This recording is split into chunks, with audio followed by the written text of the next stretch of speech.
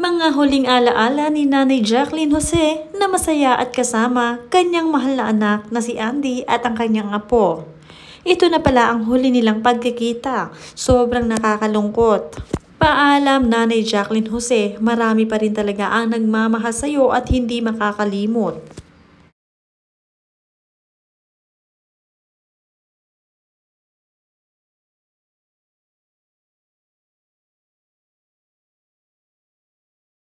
Ngayon nga lang ay agad na ibinalita na yumao na nga ang isa sa pinakamagaling at batikang aktres na si Jacqueline Jose. Labis ang pagdadalamhati ng kanyang mga taga-suporta at pamilya na ngayon ay wala na ang kanilang nanay Jacqueline Jose. Panoorin at kung hindi pa nakasubscribe, don't forget to click subscribe and hit the notification bell to keep you updated.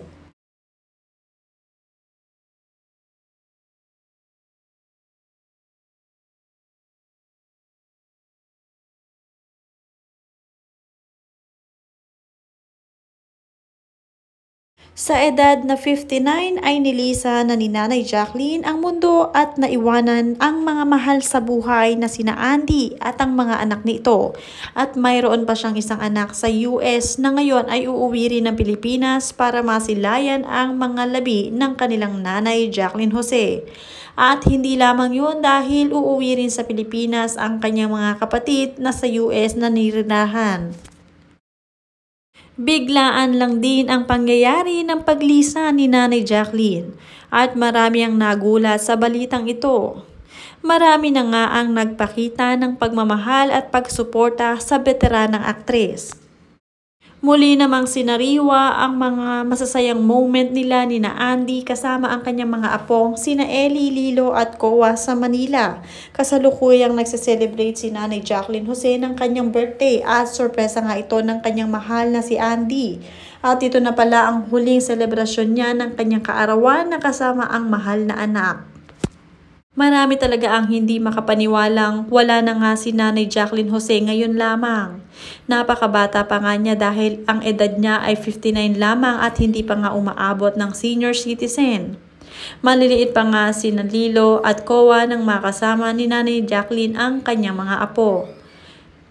Nakakalungkot lamang dahil Namatay si Nanay Jacqueline Jose nang hindi man lamang niya nasilayan sina Andy na ngayon ay nasa Siargao. Kaya naman agad-agad ay uuwi na sina Andy. At pero huli na rin ang lahat dahil wala na nga ang kanilang nanay, hindi na nila umuling makikita pa ng personal. Nakakalungkot lamang dahil sa ganitong paraan lumisan si Nanay Jacqueline Jose kung kailang wala siyang kasama sa bahay at wala din ang kanyang mga katulong. Sobrang longing nga si Mami Jacqueline sa mga kalinga ng kanyang anak dahil madalas ay nag-iisa siya. Kaya naman talagang binubuhos niya ang oras sa pagtatrabaho. Pag sinerch nyo nga agad si Nanay Jacqueline Jose ay lalabas agad ang totoong impormasyon.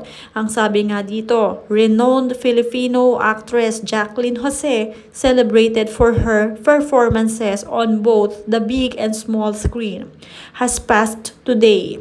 She was 59. The cause of her death has not been made public at this time.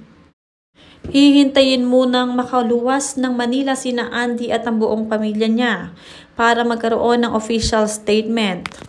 Sa ngayon ay nasa Siargao pa rin ang mag-anak na Andy kasama sina Filmar at ang kanyang tatlong anak na sina Ellie. Mahal na mahal pa naman ni Nanay Jacqueline ito si Ellie, ang kauna-unahan niyang apo. Kaya naman agad-agad ay pupunta ang mga ito para masilayan nila sa huling pagkakataon ang kanilang nanay Jacqueline Jose. Nasa huli talaga ang pagsisisi dahil noong nabubuhay pa si Nanay Jacqueline ay bihira niyang makita ang kanyang mga apo at syempre ang anak na si Andy dahil sa kabisihan nito sa Siargao.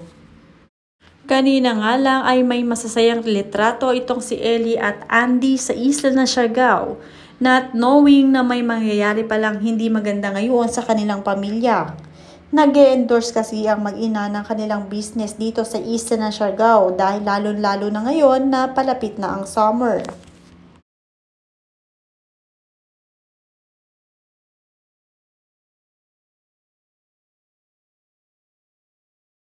Sunod-sunod na nga ang nagpo-post ng pagdadalamhati para kay Nani Jacqueline Jose. Isa na dito si Ambrosia. Malungkot na gabi habang minamasdan ang mga masasayang alaala. We love you po, Miss Jacqueline Jose. Isang karangalang maging anak mo po, Jasmine and Juliet, better woman. Paalam po, Tita Jane.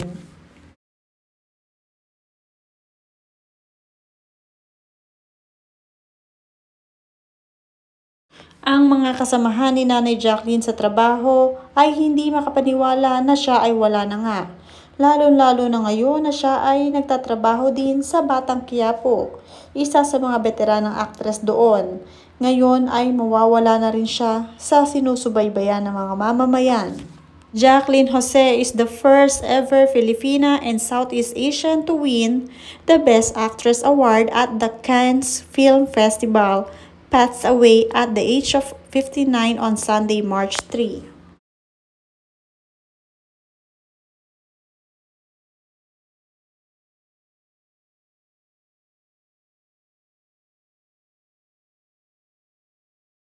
Isa sa mga inaabangan sa Batang Quiapo ngayon ay wala na si Chip Espinas. Totoo na nga ito. Veteran actress Jacqueline Jose I didn't expect that the hit show would become her last. Her role was versatile, particularly her showdown with Olga Irma Adlawan. Her character even survived Bong Bandolf Kizon's battle recently.